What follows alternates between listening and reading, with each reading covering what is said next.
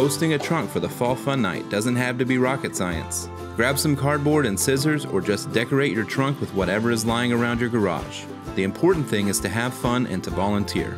We expect over 1,000 guests on our campus for Fall Fun Night, and we need you to share the love of the Yorktown Church family with the community by hosting a trunk for the trunk or treat. This event can't succeed without people like you, so scan the QR code on the screen or visit yorktown.cc/fun to sign up today. The deadline to sign up to be a trunk host is Wednesday, October 26th, so don't wait.